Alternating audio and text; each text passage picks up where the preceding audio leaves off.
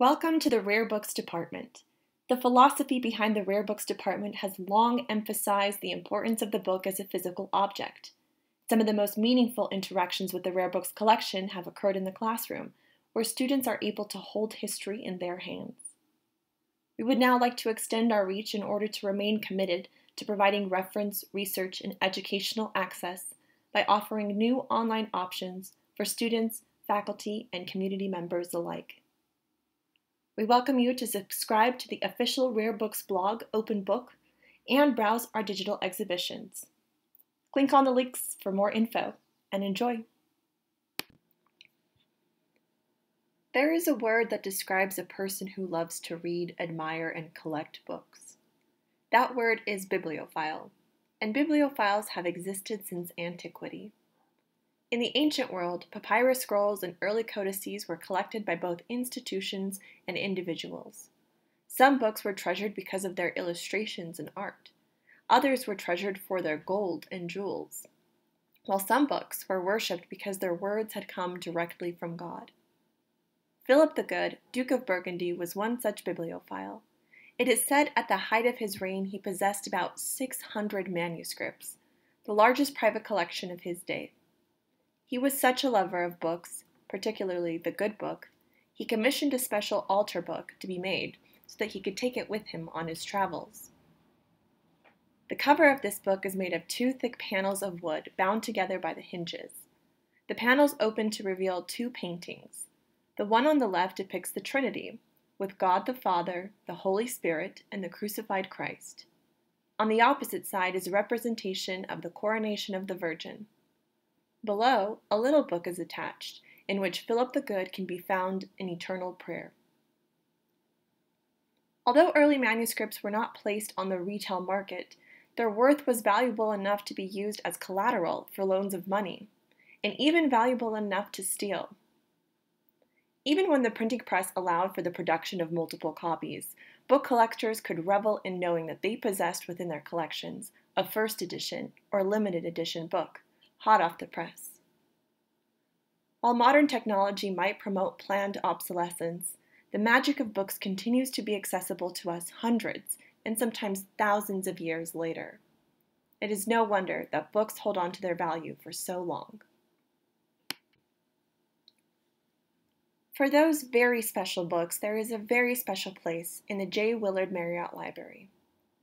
The Rare Books Department of the Marriott Library is one of five departments within the Special Collections Division. Other departments include manuscripts, photo archives, audio and visual, and print and journal. Special collections materials are held on the fourth floor of the Marriott Library and can be accessed by request in the Special Collections Reading and Reference Room. The history of Rare Books collection can be traced back to the early years of the University of Deseret and its first president, John R. Park. When President Park died in 1900, his entire library of some 3,400 volumes was given to the university. Park's library had been one of the most significant book collections ever assembled by an individual in the history of the state of Utah. The Rare Books Collection Core was initially made up of books from the Utah Territorial Library, the University of Deseret Library, and the John R. Park Private Book Collection. Over the years, other individual library collections were acquired. As the collection consisted mainly of books on Utah and the Mormons, these collections were put together and set aside in a special room called the Utah Room. Other gifts and donation came in gradually, and by 1965, the rare collection numbered almost 30,000 bound volumes. Thanks to university funding and generous gifts, the rare books collection has continued to grow over the last 55 years. Today, the Rare Books Department holds more than 80,000 items in the collection, ranging from Sumerian clay tablets to 21st century artist books, and almost everything in between. You might be wondering now, what makes a book rare? While there can be a lot of criteria which determine the value of a book, some of the most important qualities we look at are age, scarcity, print history and provenance, in addition to historic, cultural, and aesthetic values. Let's take a look at a few examples. Not all old books are rare books, but the age of a book can be an important factor. The oldest books in our collection are defined as manuscripts, meaning written by hand. This manuscript is an Arabic translation from a Greek or Coptic original of writings of St. Basil and St. Gregory. Although the manuscript is undated, the motifs and painting style are typical of Egyptian illumination found in the early 15th century. Unlike handwritten books, printed books are typically not one of a kind, although early printed books can hold just as much value. For instance, books printed within the first 50 years of the printing press are considered to be very rare. We call these incunables. Over time, and with the introduction of mass market publications in the early 19th century, books began to lose their commercial value. But before you start judging a book by its cover, there are a few other things to examine. How rare is a rare book exactly? Determining the scarcity of a book might be as simple as turning to the colophon, the statement at the end of the book which provides information about its authorship and printing. The colophon might know exactly how many editions were printed. If a book is printed in a limited edition run, or under 500 copies, then that book is surely rare. Not all books, however, provide colophons. In this case, book collectors and dealers track the circulation of titles to figure out approximately how many books were published. Some books, like this collection of plants, become books by accident, making them one of a kind and extremely rare. This book contains no bibliographic information, other than a handwritten note on the first page which describes the book as the collection of plants found in the Arctic sections, made by Captain Hoppner, second in command of HMS Fury. The Fury and the Hecla sailed to discover the Northwest Passage, May 1821. Attached to an end page, there is also a miniature envelope that holds moss which Franklin and his party had as their only food. It is possible that this note alludes to the failed overland expeditions in the Arctic led by Sir John Franklin between 1819 and 1822. During this time, Franklin lost more than half of the men in his party to starvation, and, in order to survive, the remainder of his crew ate lichen, with some attempting to eat their own leather boots. Furthermore, there were rumors of cannibalism, and at least one murder reported. In addition to the handwritten notes, a book plate on the first page suggests that sometime during the mid 20th century, the book was held in the Department of Botany in Oxford, while Nicholas Polunin was the keeper of the herbaria, which is now almost 400 years old. While lecturing at Oxford, Polunin traveled to the Canadian Arctic as a botanist on an expedition that discovered the last major islands to be added to the world's map. To add to its scarcity, this book contains a unique provenance, or a record of ownership, making it all the more valuable. In addition to age and provenance, the author and even the publisher can be equally significant. A reader can look to a book's imprint to learn more about the publisher and publishing history. An imprint is something like a brand, and some imprints hold a lot more prestige than others. Publisher Erhard Ratdolt is a perfect example. Ratdolt's reputation largely rests upon his edition of Euclid's Elements of Geometry. Printed in 1482, Elements was the first printed book to contain geometrical figures. In his dedication to this edition, Ratdolt suggested that the scarcity of printed mathematical works was due to the problems involved in printing the geometrical diagrams. He then happily announced that he had discovered a method of printing them just as easily as the text. He did not elaborate upon this method, choosing to keep it secret. The page layout, particularly the first page, is an outstanding example of Ratdolt's consideration of the overall look and readability of his work. The first page also includes an elegant three-sided woodblock and a white vine-style woodcut initial. Plus, several hundred small ornamental capitals are throughout the book, and more than 420 carefully designed and perfectly printed marginal diagrams, confirm its standing as a landmark publication. While a book's publishing history holds a lot of value in the world of rare books, history itself is often an underlying factor when determining how rare a book is. Historic value considers and contextualizes the historic moment during which the book was published, and how the circumstances of that moment might influence the actions of author and publisher. Thomas Paine's Common Sense, for example, called for the separation of the colonies from Great Britain in a persuasive argument for independence that was printed in a small, inexpensive pamphlet. Yet this very pamphlet, which was printed in the hundreds of thousands, moved mass public opinion toward the cause of the American Revolution, arguably changing the course of history as we know it. Common Sense was a bestseller immediately upon publication. It was first printed in Philadelphia by Robert Bell on January 9, 1776, in an edition of 1,000 copies. That first printing was read by everyone in the Continental Congress and nearly everyone in the colonies who were literate. Then, those who could read read aloud to nearly everyone who could not. Within a month, two more editions were published, with an additional 150,000 copies in circulation. Paine refused to copyright the work and gave permission to all to reprint it. What happened next was legendary. 25 editions were published in 13 cities in the year 1776, reaching nearly half a million copies printed in that year alone. This is impressive, considering that at the time the colonial population was about 3 million people, a number which included slaves, women, and children. Like historic value, cultural value considers and contextualizes only this time focusing on the dynamics of culture during the time of publication. It looks at how emerging cultural movements, whether belonging to or going against the status quo, might influence the written word. Here we find some of the most unassuming rare books, like this literary journal called Anvil from the early 20th century. Anvil's editor, Jack Conroy, was born to Irish immigrants in a coal mining camp outside of Moberly, Missouri.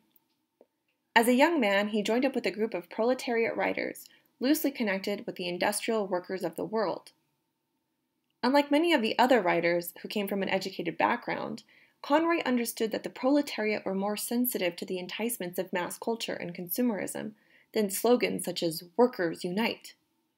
As such, he wanted a publication molded from the experiences of young writers from the mills, mines, forests, factories, and offices of America a publication that portrayed an honest rather than simplistic view of the working class experience. With all this in mind, The Anvil was born in 1933. The title Anvil evoked the worker's world strength, firmness, raw material, the force of physical labor, the shaping of a new world. These images also complemented the magazine's slogan We prefer crude vigor to polished banality. The first issue of Anvil was printed in a run of 1,000. 200 copies were exchanged with other magazines, and the rest were sold at 10 cents each. Although Anvil was a short lived literary experiment, the existence of this journal retains a cultural memory, like a time capsule providing insight to a time that was. Sometimes a book has value simply because it is a beautiful book. Aesthetic value looks at the craftsmanship of bookmaking and gives special attention to the skills of binding, papermaking, and letterpress printing. Beauty is in the eye of the beholder, as they say, but for a long while the practice of bookmaking centered around profit rather than art. Like many trades, bookmaking was impacted by the Industrial Revolution, particularly with regards to how we make paper. The first machine to make a continuous sheet of paper was patented in 1798 in France. Patents for the paper-making machine in England soon followed. With this invention, paper would no longer have to be hand-pulled, but can now be made by the roll. And this, along with the introduction of wood pulp, impacted the quality of paper, and therefore the quality of the book. From this point forward, books became fairly inexpensive to make paperbacks and chapbooks targeted toward lower class readers entered circulation, and since more people could now afford books, more people were learning how to read. While literacy rates were increasing, the quality of the book was beginning to suffer. Cheap paper and production shortened the life of the book tremendously. In reaction to the decline in standards associated with industrialized production, the arts and crafts movement was born in mid century Britain. As part of that movement, artist and designer William Morris was eager to revive the craft of printmaking. Inspired by the medieval manuscripts of the past, Morris founded the Kelmscott Press in 1891 in order to publish limited edition illuminated style books. One of the books that was printed was the Epic of Beowulf. The Epic of Beowulf is a Norse legend and one of the earliest examples of Old English in particular, and Germanic literature in general. It is a unique source for information on the early history of peoples in northern Germany and Scandinavia. The Kelmscott edition was translated by William Morris and A.J. Wyatt. Morris designed the woodcuts that flourish the title page, along with designing numerous smaller page borders and initials. The text was printed in Troy and Chaucer types, in red and black ink. The Epic of Beowulf was printed in an edition of only 300 copies, and is certainly one of the most typographically beautiful editions ever published. So now that we know a little bit more about what makes a book rare, you might find yourself wondering how the Marriott Library acquires such materials. While some of the books have been inherited into the collection, as I mentioned before, many, many others have been acquired over time. These acquisitions include books that were purchased, donated, and reclassed. A special budget set aside for rare books acquisitions has allowed us to purchase a variety of titles. In an effort to expand our collection to meet the needs of faculty, students, and community members, we look for books that we believe will make an impact on research and education. This book, for example, was purchased to increase the scope of women's influence in medieval literature. Furthermore, it allowed one particular student a chance to study a book that would otherwise be impossible to view in real life. This is a facsimile edition of the first theological work by St. Hildegard of Bingen. Hildegard was a German Benedictine abbess, writer, composer, philosopher, Christian mystic, visionary, and polymath. At an early age, she began having visions, which led her to be sent off to a monastery for the rest of her life. Hildegard did not begin writing down her visions until she was 42 years old. Then, over the course of 10 years, she produced this book, Liber Scivias. The manuscript, considered to be a guide, takes into consideration the concepts of the universe. Inspired by her visions, the manuscript features 35 fantastic illuminations, which make Liber Scivias one of the most lavish and decorated medieval manuscripts of all time. While we are so lucky to be able to purchase rare books, we are even luckier to receive kind donations from people both near and far, anonymous and named. One recent donation was a set of issues of a newspaper titled The Friend. The donated set spans a course of 76 years, beginning with an issue from 1870 and ending with an issue from 1946. The very first issue of The Friend was published in January 1842, originally under the name Temperance Advocate. The newspaper began as a monthly periodical for seamen and included news from both American and English newspapers. Gradually, the monthly expanded to feature announcements, advertisements, reprints of sermons, poetry, local news, editorials, arrivals and departures, marriages, and obituaries. The paper was published by the Reverend Samuel Chinnery Damon, who was sent by the American Seamen's Friend Society to be the chaplain in Honolulu. He was the pastor of the Bethel Union Church, Seamen's Chapel, for 42 years, and the editor of The Friend from 1843 until his death in 1885. Under Reverend Damon, nearly 1 million copies of the newspaper were distributed. In addition to purchases and donations, some rare books are found within the library's general collection. Dependent on the criteria of what makes a book rare, some books might be reclassed from the general collection to the rare books collection, adding to our growing number of titles. One such book was reclassed because of its historic and cultural value. The publication of Metropol was the result of a number of drastic changes in the Soviet Union, beginning first with the death of Stalin, which temporarily eased publishing restrictions within the literary world. But by the end of the 1960s and under the leadership of Leonid Brezhnev, Writers and artists alike were required to conform to the framework of socialist realism, a rigid aesthetic that aimed at the ideological transformation and education of workers in the spirit of socialism. The Soviet Union did not exactly censor its writers. In fact, censorship did not even officially exist in the Soviet Union at this time, for in practice, everything that was to be published, broadcast, or filmed went through rigorous screening by the party's officials. Such was the environment that created the Metropol Affair of 1979, known as the Soviet Union's last great literary scandal.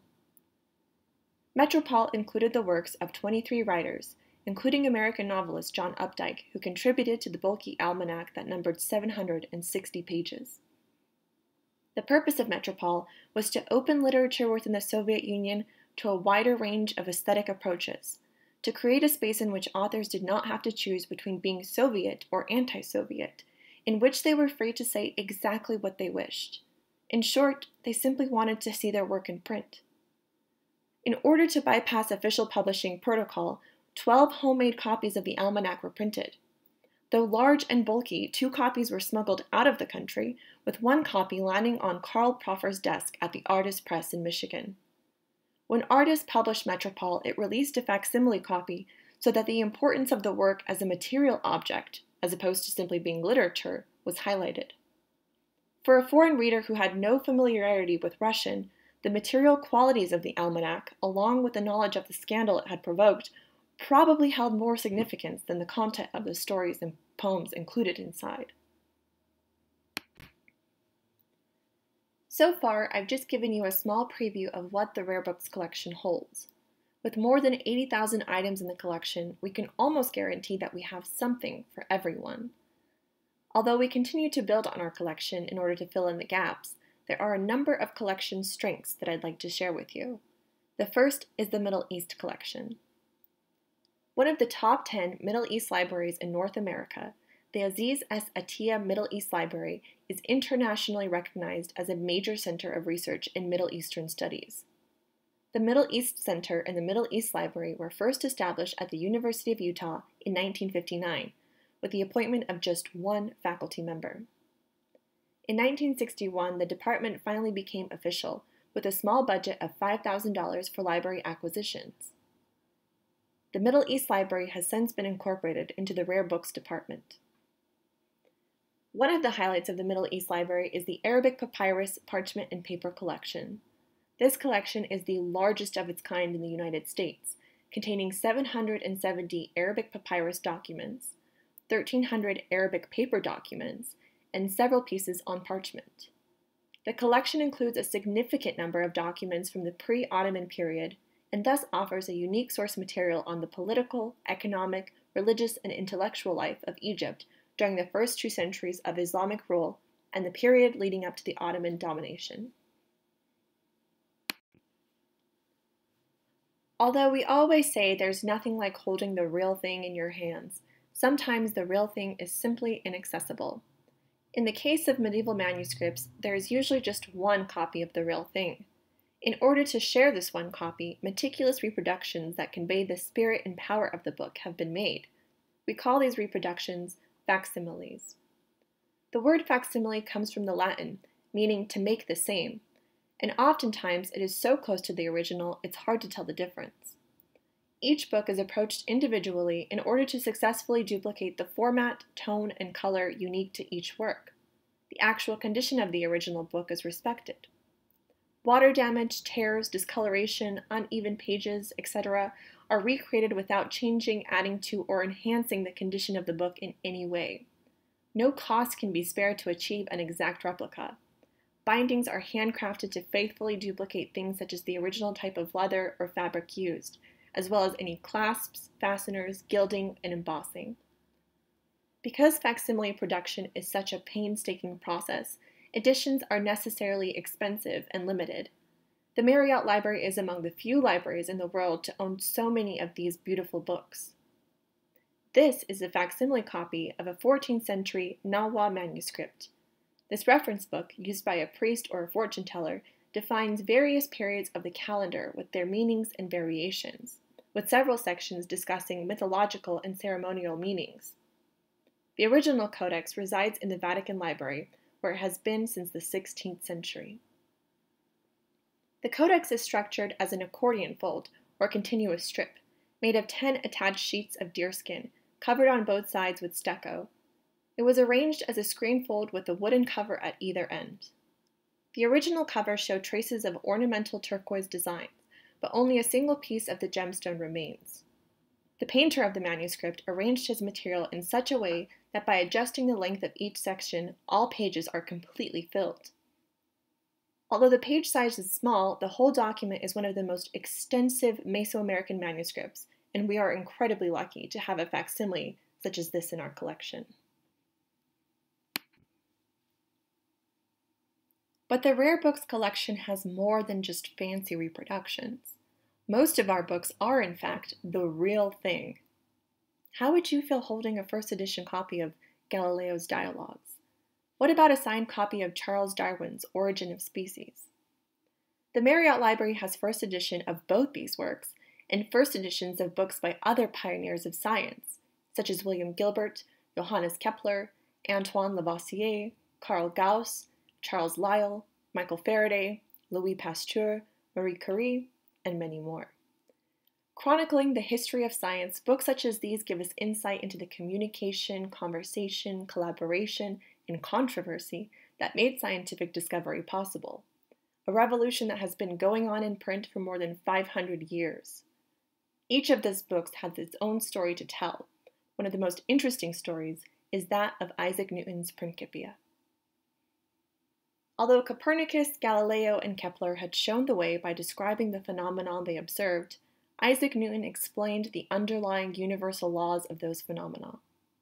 Newton's theories overthrew the subjective interpretations of nature that had dominated science and the natural philosophy since the time of Aristotle, and ushered in the Age of Reason. By age 43, Newton had invented calculus, had broken white light into its component colors, and built a telescope whose design is still used today. When he was 47, he published the book that profoundly changed the way we see the world and established his brilliance as an astronomer and mathematician. It is likely that no more than 300 copies of this first edition were printed. Principia gave us the three laws of motion, defined gravity, and provided the precise mathematical equations by which it could be measured. Edmund Halley was instrumental in getting Principia into print. Halley wheedled, flattered, and bullied Newton, a recluse, into preparing his manuscript. Halley even paid the cost of printing out of his own pocket. In the 21st century, Principia is still considered to be one of the greatest single contributions in the history of science. From the history of science to the history of religion. The Rare Books collection holds some of the most notable religious works, including a first edition copy of the Book of Mormon signed by Joseph Smith, first printed editions of the Greek New Testament, and first and early editions by Martin Luther, among so many more. Like this book, published in 1691 and written by Vaclav Steyer. Steyer was a Czech Jesuit priest, preacher, translator, and linguist. With his mother, he founded a society whose purpose was to publish and distribute Catholic books in Czech. The word postile or postila is an abbreviated term for a marginal note or biblical commentary. Postiles were intended to provide clarification and spiritual instruction. Steyer's own postila was written during a very polarizing time in Bohemia, when Protestants were publicly persecuted and exiled. The Habsburg era from 1620 to the late 18th century was known as the Dark Age by the Czech people, as the nation suffered from a declining population, war, famine, and disease. The German Habsburgs prohibited not only religious freedom, but national liberty and identity, replacing the Czech language and culture with the German language and influence. Steyer's publication was an attempt to hold on to the cultural and linguistic values by printing the Catholic text in Czech. The survival of Postila demonstrates the power of the book. Now held in this rare books collection, this book was once owned by a Czech immigrant named Peter Semelka. Semelka fled to the United States with his family just one year after the Prague Spring erupted. They brought only their most valuable possessions, including this copy of Vaclav Postila. The book was presented to former Utah Governor Calvin Rampton as a tribute of gratitude for the support and friendship the Semelka family received during their first year in Utah.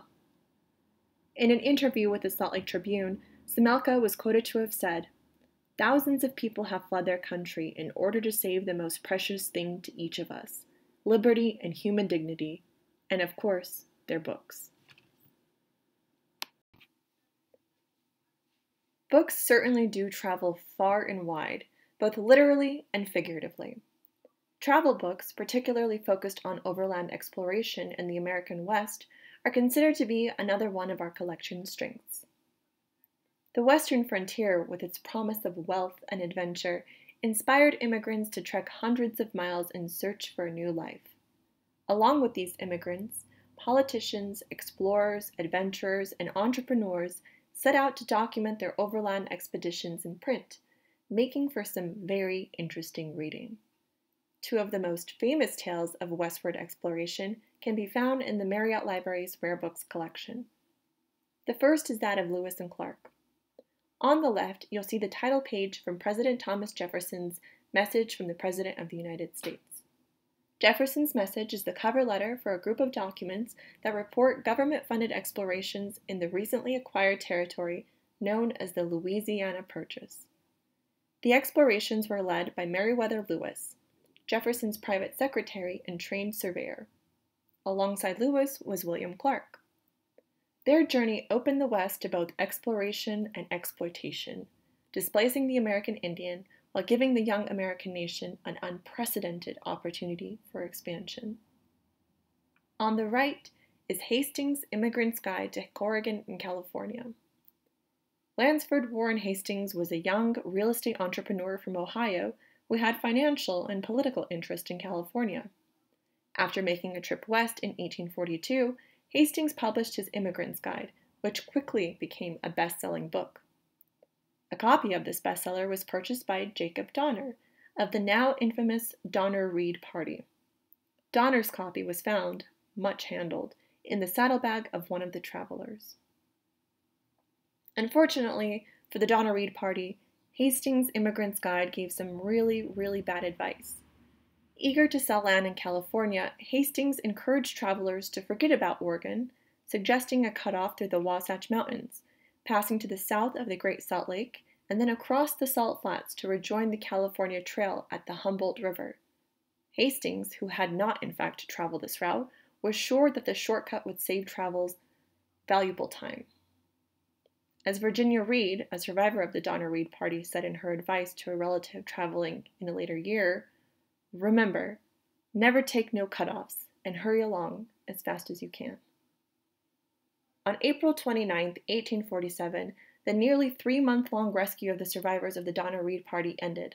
The last surviving member arrived at Sutter's Fort more than a year after the original party had departed from Springfield, Illinois. The rare books I've shown you thus far can provide a truly insightful look into history. But rare books can also be used as a lens to view our own contemporary time. 21st century artist books and fine press books are also considered rare due to both their aesthetic value and their scarcity. A particularly unique strength in our collection, the rare bookshelves are lucky to hold such a vast number of these books. While fine press books have already been defined as emphasizing bookmaking craftsmanship, artist books are significantly trickier to pin down.